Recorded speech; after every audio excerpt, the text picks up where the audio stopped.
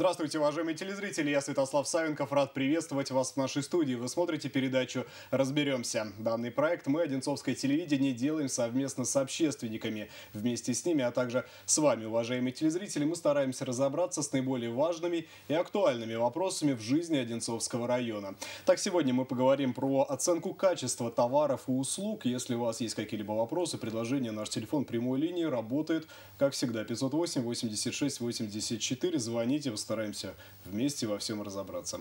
Наши гости сегодня, как всегда, представители Общественной палаты Одинцовского района и Московской области Виталий Олегович Шипко. Здравствуйте. Здравствуйте. Виталий Олегович, заместитель председателя комиссии, который занимается промышленностью, инновациями, экономическим развитием, предпринимательством и инвестициями.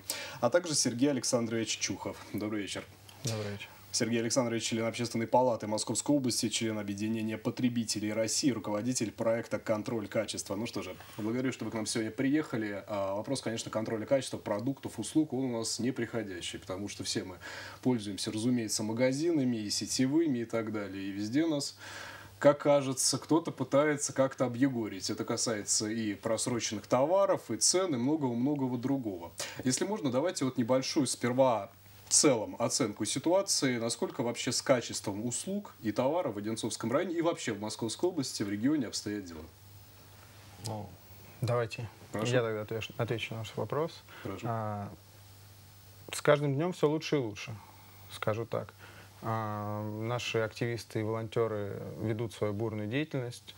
Каждый магазин знает, что к нему в любой момент могут прийти и потребовать выполнения законодательства Российской Федерации.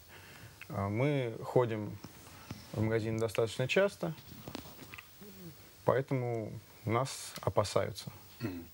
То есть вы связываете эту динамику улучшения ситуации именно с деятельностью общественников, я правильно понимаю? В том числе, да. Ну и закон сейчас все строже и строже к нарушителям. А общественники их тоже с каждым днем все больше и больше. На территории Одинцовского района и вообще Московской области а, открываются все новые и новые некоммерческие организации, создаются новые движения, объединения общественные, объединения граждан также не зарегистрированы. А вы сказали об ужесточении закона. Можно какие-то примеры? И что именно вы имеете в виду? За какие проступки, за какие нарушения действительно местная администрация, допустим, сетевого магазина, а, владельцы этого сетевика могут действительно поплатиться чем-то серьезным? Ну, по сетевым магазинам все пока, к сожалению, не так строго. И вообще по продуктам питания все не так строго, как хотелось бы нам, общественникам потому что мы, ну и проверяющие органы, сто, стоим на страже здоровья граждан. А, а, ужесточается сейчас законодательство по части алкоголя. А, относительно недавно ввели систему ЕГАИС, с помощью которой можно проследить по, по данной бутылке, откуда она пришла, где она была произведена. Не просто вот информация на товаре, а жесткий контроль на каждой, каждой, каждой вот ступени. Угу. От производства до продажи. Да, соответственно, достаточно легко отследить контрафактную продукцию. Да, безусловно. Ну, в данном случае, я понимаю, речь идет, за, или речь идет о людях, которые все-таки находятся на определенном уже уровне интеллектуального развития и так далее, которые, соответственно, могут, допустим, смартфоном, я так понимаю, да, воспользоваться для фиксации этой ситуации и так далее. А люди, которые все-таки, ну, чаще, скажем, попадают под... Э, негативное воздействие паленой, контрафактной, допустим, водки. То есть люди, которые, ну, не будем там прям уж ходить вокруг, вокруг да около, которые за, за мерзавчиками по утрам бегают и так далее, у которых там с утра выпил, весь день свободен. Вот, тем не менее, они же все еще наши граждане, я думаю, они едва ли будут э, беспокоиться за тем, чтобы там фотофиксацию какую-то проводить, проверять и так далее. Вот в отношении ну, этих граждан как-то их права защищаются со стороны Но они могут быть, по крайней мере, уверены, если им выдают чек с QR-кодом, так называемым, а, что данный товар легален, что качество товара соответствует всем нормам и требованиям закона. А вы сказали, что проводите некоторые выезды, рейды и так далее. А кто в них участвует? Какие, я так понимаю, правоохранительные службы, правильно? Ну, зачастую мы без предупреждения, без участия правоохранительных органов э, проводим свои мероприятия, но иногда приходится при, привлекать и правоохранителей по той причине, что в некоторые магазины и торговые точки просто небезопасно нам уже ходить, потому что мы там не первый раз э, туда приходим, и, соответственно, если в первый раз э, нас приняли не очень дружелюбно, то мы пытаемся задействовать и правоохранителей в том числе. Ну вот, допустим, один, вот недавно, не дали, недавно проводился рейд совместный Общественной палаты Одинцовского района с э, представителями э, Общественной палаты, я так понимаю, Московской области. В том числе, в да. том числе, да, по выявлению э, значит, незаконной продажи алкоголя. Э, на- было выявлено достаточно большое количество э, спиртных, спиртных, спиртсодержащих продуктов э, значит, в одном из караоке-баров. Вот. Это- Это мы делаем на регулярной основе. Соответственно, проводим эти рейды и совместно с органами внутренних дел. Это делает общественная палата Одинцовского района. Торговали там без лицензии, прошу Да. заметить. У них лицензия закончилась. А Ну вы, да, да. вы упомянули, что бывают случаи, когда вас, в общем-то, в шт- в штыки воспри- воспринимают на месте. Ну, я так предполагаю, что это сотрудники ЧОПов там задействуются, охраны и так далее. А насколько я понимаю законодательный момент, когда вы присутствуете на подобных э, рейдах, вы все еще пользуетесь, конечно же, любыми правами гражд- граждан Российской Федерации. То есть просто так, когда условно взять за шкирку и выбросить вас из магазина, никто не имеет права, правильно? Безусловно. А так какие же в таком случае меры воздействия можно применять по отношению и к сотрудникам охранных предприятий, и э, к руководству? Но все зависит от того, насколько далеко зашли эти сотрудники. То есть вот на одном из э, не последних рейдов, так скажем, ну, а, в апреле месяце, дошло до того, что мне просто-напросто сломали нос. Была, была и такая ситуация. Э, Сейчас, соответственно, этого человека заведено уголовное дело. Это было не в Одинцово, правда, а в Подольске, но вот доходит и до серьезных угроз здоровью. Не только словесных, иногда эмоции, скажем так, переполняют э, сотрудников магазина, сотрудников ЧОПа, которые охраняют данный магазин. И они впускают э, в ход руки. Но это бывает крайне редко, слава богу. Все Ну, цивилизованно. Получилось, что условно, скажем, человек, который э, начал руками размахивать, на него заведено уголовное дело. Да. Все понятно. Что насчет руководства охранного предприятия? Что насчет непосредственно администратора? Но это был не охранник, Так. а, он был даже не сотрудник магазина, это был знакомый сотрудник м- а, магазина. Мгм. То есть, когда мы пришли, навели, так сказать, небольшой э, шухер, э, извините за такое вот выражение жаргонное, а, им очень не понравилось этим ребятам, что мы пришли в их магазин, а, ребята а, были во- восточных национальностей, горячих кровей, и когда они нам в грубой форме высказывали, что мы должны уйти, мы им в спокойной форме отвечали, их еще больше разодоривало, и они позвали помощников. Я вас понял. Но получается, что эта ситуация частная. А Да. условно, в целом, я так понимаю, что магазины обычно именно ох- охрану задействуют для того, чтобы как-то выпроводить незваных гостей и так далее. Но чаще всего не, не выпроваживают, а наоборот э, говорят спасибо. Охрана.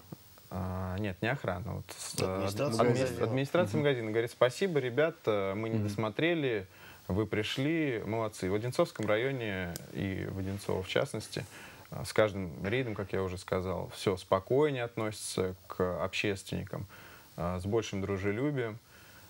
То есть даже в тех магазинах, где раньше позволяли себе там, выражать- выражаться бранно, нецензурно или, не дай бог, распускать э, руки, э, там уже, когда мы приходим, они понимают, ребята, чем это может им грозить, и просто улыбаются. То есть они уже не агрессируют на видеосъемку, которую мы имеем право вести. На фотоаппарат не лезут, не пытаются сломать камеру.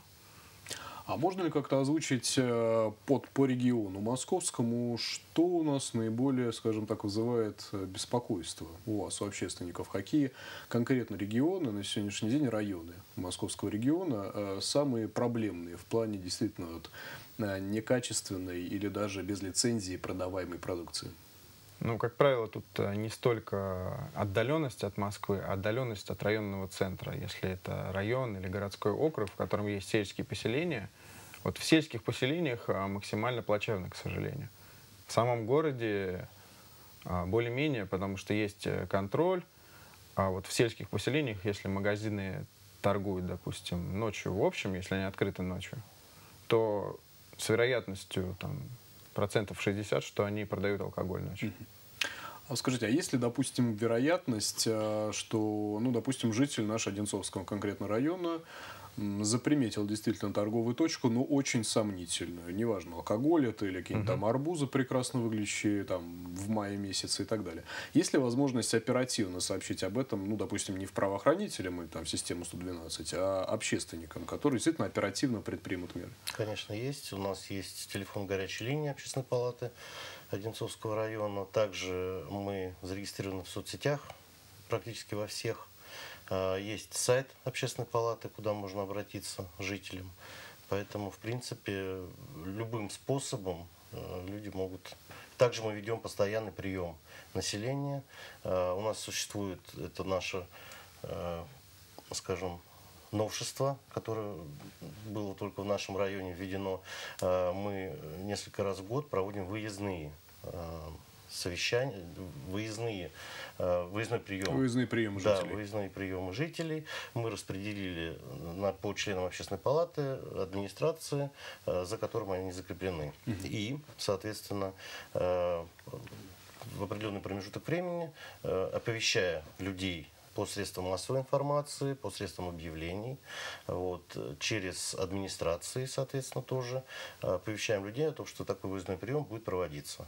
Э, и наши сотрудники принимают э, заявления, жалобы и так далее. Но это вы сейчас говорите в целом, как можно к вам обратиться, как да. до вас достучаться. А я имею в виду именно вот оперативно. Оперативно, еще раз повторю, что есть телефон, угу. есть соцсети, есть электронная почта. А какие-нибудь были примеры, когда действительно вот вам сообщили, и вскоре действительно вы выехали на место там с представителями правоохранительных служб, без них, неважно, и проблема была решена? Ну, простой пример это вот караоке-бар, когда был проводил, раз проводился рейд, да, mm-hmm. поступила информация, мы достаточно оперативно отреагировали. Э, также, не касающийся именно этого, э, совсем не далее, как в четверг, поступило обращение жителей города Голицына не касающиеся э, продажи э, алкогольной продукции, а также э, плохих товаров. Но люди обратились с просьбой построить или помочь с, в общении с властью вот, для строительства торгового прощения, ФОКа физкультурно-оздоровительного комплекса. Физкультурно-оздоровительного. Да. Ну, мы как раз-таки этот вопрос освещали сегодня в выпуске новостей, в том числе речь была. И, уважаемые телезрители, я предлагаю сейчас посмотреть несколько более развернутые комментарии людей, которые непосредственно участвовали в данной встрече. И тир, и там многие спортивные площадки, на которых можно будет играть э, в народный волейбол, баскетбол, мини-футбол. Вот. Сейчас очень популярен популярные э, виды спорта, пляжного, э, пляжные виды спорта, э, пляжный волейбол, пляжный футбол, площадки какие-то организовать с песком, чтобы люди выходили и играли. Потому что раньше все это было. Чтобы все в одном месте, и дети, и взрослые могли бы заниматься спортом. Так как у нас на территории города э, стоит огромный э, институт Федеральной пограничной службы, сейчас ФСБ. Вот. И большая часть населения, особенно северной части города, это офицеры. Многие офицеры спецназа России. А, их дети проживают здесь и также должны заниматься спортом. А, в принципе, по моей просьбе, как бы по, при поддержке Александра Николаевича, также мы обратились к Ассоциации ветеранов группы А, а с просьбой поддержать нашу инициативу.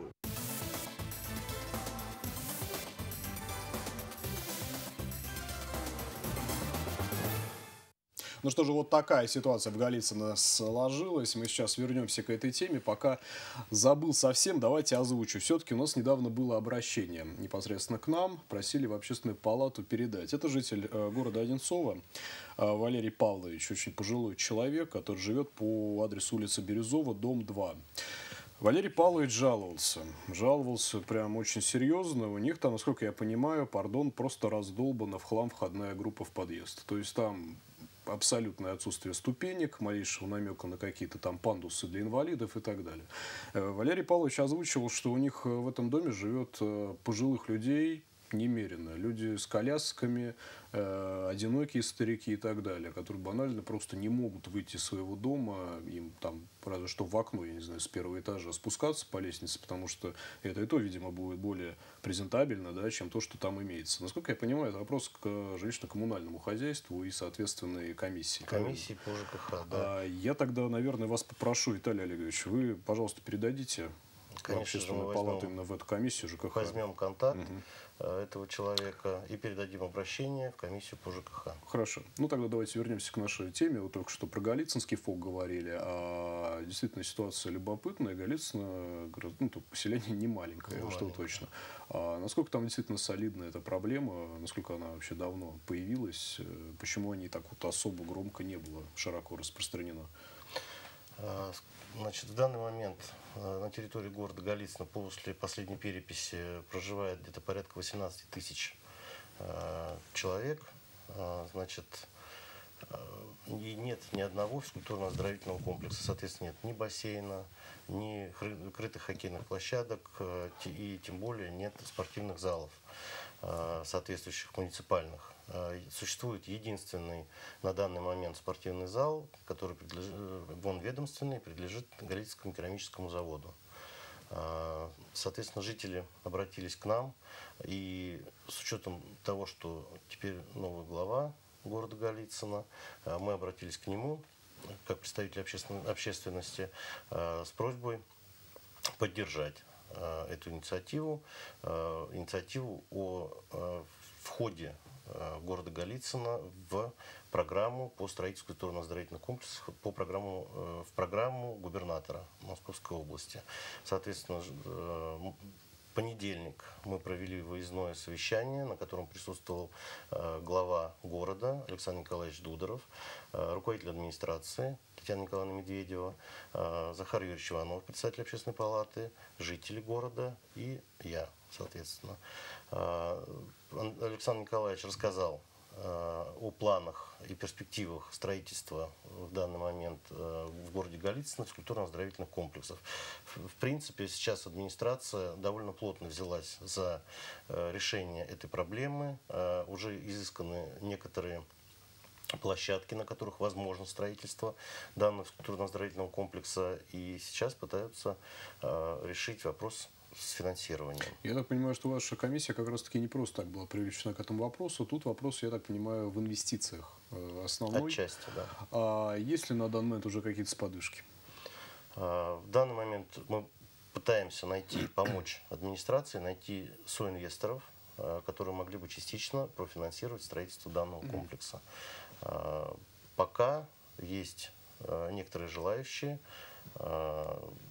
ведутся переговоры.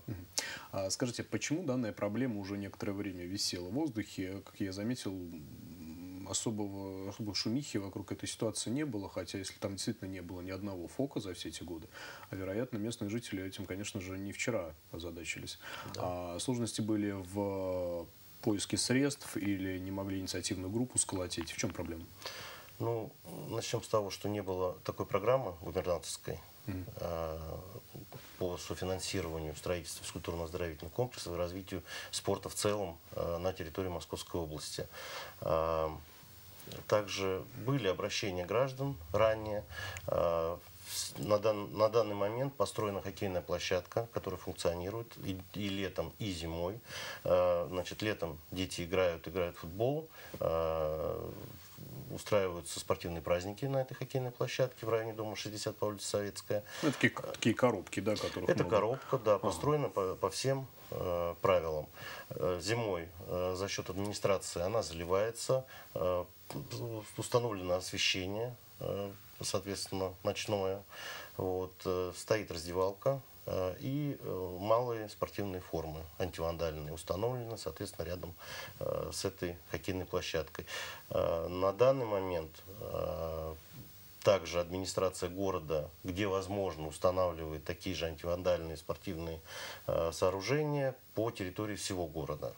Вот. Но все-таки этого мало для тренировок, допустим, детей либо взрослого поколения, уже непосредственно занятия серьезным видом спорта, э, такими как, там, допустим, ми- мини-футбол, э, та же стрельба, карате, тэквондо.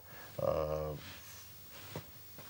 да, достаточно много Ну, различных. причем, Футбол. насколько я могу судить, э, действительно близость Голицынского пограninstituта, тот факт, что там живет довольно много сотрудников спецслужб, семей, детей, я могу предположить, что там очень хорошие теоретически, может быть, кузня кадров в спортивной именно дисциплины. Да, конечно. А, Тем не менее, хотелось бы вот уточнить, дважды вы упомянули антивандальные спортивные снаряды, если Да. я правильно понял. А что это такое? А, ну, показать, к сожалению, мы сейчас не можем. Понимаю. Ну, вы объясните, пожалуйста. Значит, э, это спортивные тренажеры, вот, которые сделаны таким образом, что их как можно э, ну, достаточно крепкие, э, которые, в принципе, разломать А э, игрушки, прибитые к полу. достаточно Я вас сложно. понял. Именно. Я вас понял. А, любопытно узнать, э, есть ли на сегодняшний момент а, какие-то вот действительно договоренности с местными властями. Я так понимаю, судя по тому, что там присутствовали а, и Медведева, и Дудоров, а, вы с ними взаимодействуете довольно плотно Довольно вопросу, плотно, правильно? А их позиция, можно ли в двух словах? Ну, Александр Николаевич Дудоров, э, он, э, как только его избрали, э, он очень серьезно озада- озадачился проблемой развития спорта на территории города Голицына. Э, И, соответственно, э, он своими силами пытался найти инвесторов. И сейчас уже на данный момент была проведена достаточно кру- крупная работа по поиску площадок, где возможно строительство данного физкультурного комплекса. Вот. И такие площадки существуют, они найдены. Следующим этапом было э, найти средства которые бы позволили построить этот физкультурно-оздоровительный комплекс. Э, Также я э, знаю, что были проведены переговоры главой города с инвесторами, но все равно средств не хватает. Вот поэтому сейчас общественность обратилась к главе сначала города и в общественную палату Одинцовского района, Одинцовского муниципального района, значит, с просьбой содействовать включении города Голицына э, в губернаторскую программу. А, ну, я так понимаю, раз э, имеются уже какие-то подсчеты, хватает средств или нет, э, какие территории там земельные необходимы, я так понимаю, что существу- существует уже план непосредственно каких-то этих фокусов, Да, правильно? существует план развития города Голицына, но я думаю, об этом э, расскажет лучше сам глава. Вот, э, том интервью, которое он давал э, Но ранее, я имею в виду, что планы уже достаточно оформлены, то есть это пока не пустые разговоры ни о чем, Нет. судя по тому, что есть план, значит дело уже сдвинулось с мертвой точки, Конечно, правильно? Да. Уважаемые телезрители, я напоминаю, наш телефон 508 86 84. Сегодня мы говорим о работе комиссии, которая занимается преимуществом, преимущественно промышленностью, предпринимательством, инновациями, а также мы говорим о качестве товаров и услуг в Одинцовском районе. Звоните, напомню, 508 86 84. Кроме того, любые ваши заявления, даже не относящиеся к теме сегодняшней передачи, будут за- э, восприняты нами как официальное заявление в Общественную палату Одинцовского района. Звоните. Мы пока давайте продолжим. А, Виталий Олегович, наверное, все-таки к вам вот вопрос, в первую очередь, э, по поводу работы вашей комиссии. Э, Довольно широкий спектр рабо- э, вопросов у вас и долгостроя нашего Одинцовского района, и вот привлечение инвесторов и так далее. А по каким вообще вот в основном вопросам к вам в общественную палату, именно вашу комиссию, обращаются? Как вы правильно сказали, достаточно широкий спектр обращений жителей, значит, начиная действительно от долгостроев. Э, мы ведем достаточно плотно работу с обманутыми дольщиками. Вот. Э, также к нам обращаются предприниматели э, с просьбой, допустим, э, разъяснить, э, каким образом сейчас построена э, работа по э, получению разрешения на рекламные конструкции. Мы, соответственно, разъясняем данным предпринимателям, каким образом надо делать, и перенаправляем их в отдел соответствующей администрации. Вот. Также э, ведется работа с обращением не только юридических лиц, но и физических лиц э, с жалобами, как мы уже говорили ранее, э, на плохое качество товаров и услуг, на э, значит, незаконную э, продажу алкоголя, э, на несанкционированную продажу э, различных э, продуктов питания, в том числе вот, это, вот эти пресловутые истории с бабушками, вот, потому что некоторые жители жалуются, жалуются на то, что они не уверены в качестве э, тех продуктов, которые э, продаются в несанкционированных местах.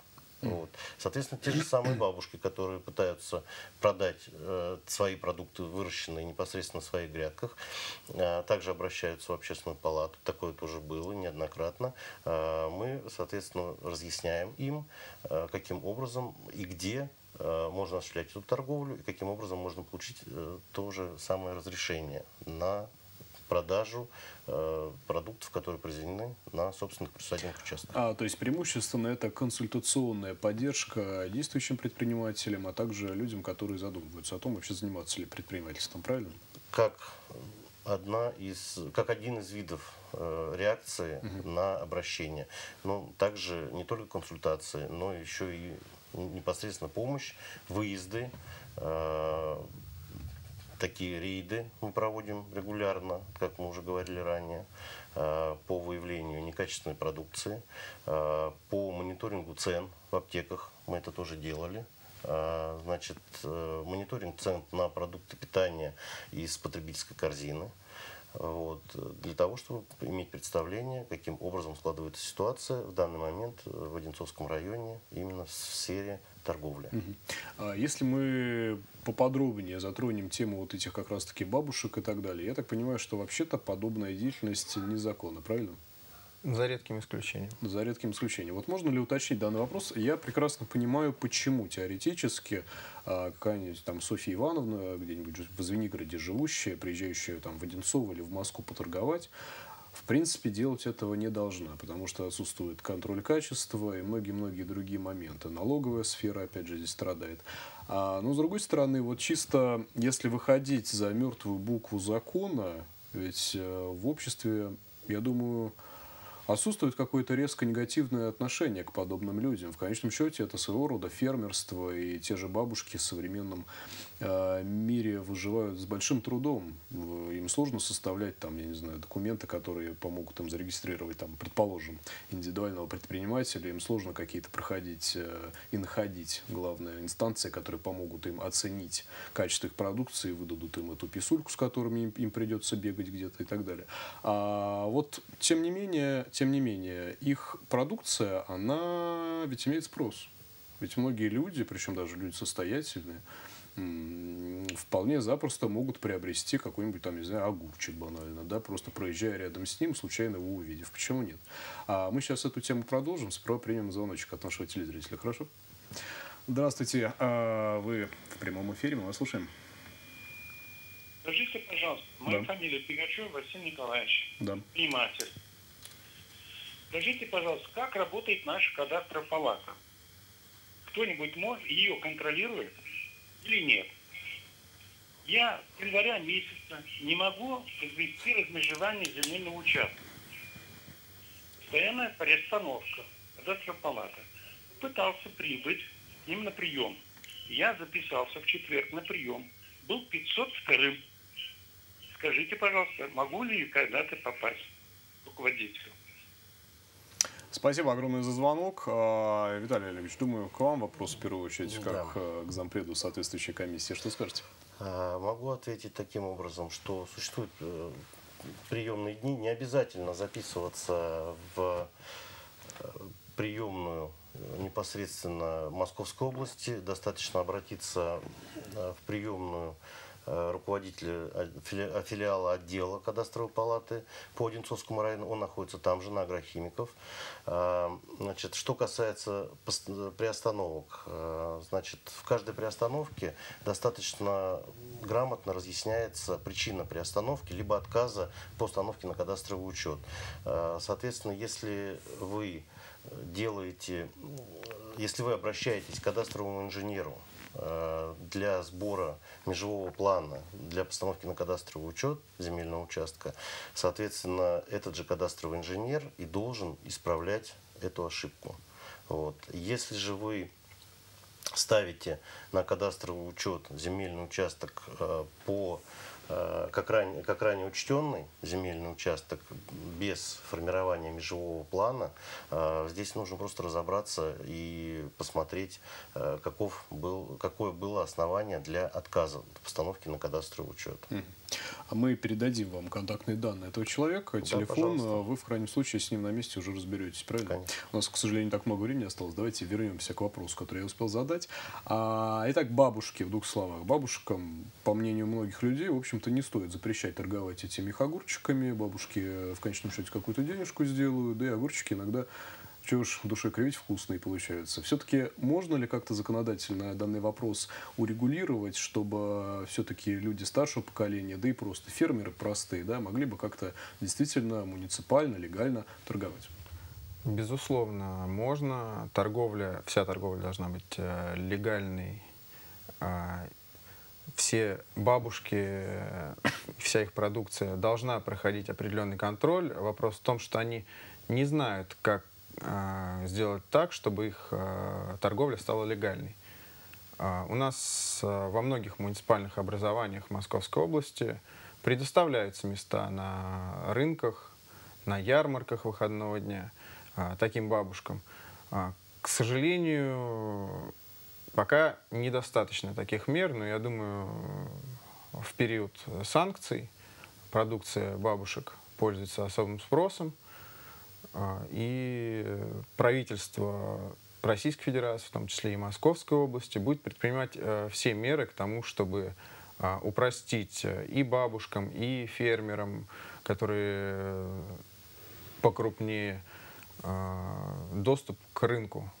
Угу. Но бабушки бабушкам рознь. Ну что ж, я вас понял. Спасибо огромное, что вы к нам сегодня приезжали. Довольно важные вопросы мы с вами рассмотрели. Будем надеяться, что в следующий раз, когда будем с вами беседовать, уже все-таки вопросов станет и поменьше. И с дольщиками обманутыми, и с бабушками, которым негде торговать, и со всем прочим. Спасибо. Спасибо. Уважаемые телезрители, вы смотрели передачу «Разберемся». Сегодня мы говорили о промышленности, предпринимательстве, качестве товаров и услуг. Если у вас есть какие-либо вопросы, предложения, наш телефон 508 86 84. Звоните в течение недели. Кроме того, вы можете напрямую обратиться в Общественную палату Одинцовского района на их официальном сайте, воспользовавшись формой обратной связи или написав электронное письмо. С вами был Святослав Савенков. Берегите себя и до встречи через неделю.